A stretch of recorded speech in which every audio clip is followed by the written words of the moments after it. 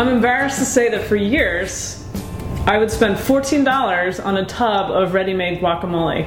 Little did I know that you can make your own guacamole at home for a fraction of the cost. I think part of the reason was I didn't know what an avocado was.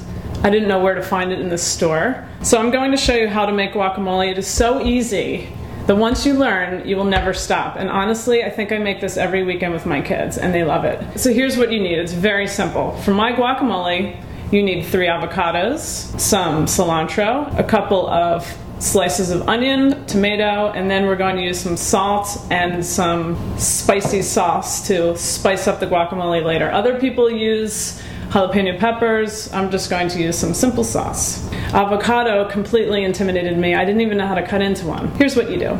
Take your knife, take your avocado, you simply slice along the outside very carefully, and then it should open like that. Take your knife in the middle, you move it around the pit, and the pit comes out. Once your avocado is opened, you just make really simple slices. This is so easy, you're not gonna believe that you ever purchase guacamole. And once you've made your diagonal slices in your avocado, you simply take your spoon and you scoop it out. Once that you have all your guacamole inside, take some of your onions and just sprinkle some in, like that, on top. And then you're gonna take a little handful of your fresh cilantro, and you're ready to use your pestle.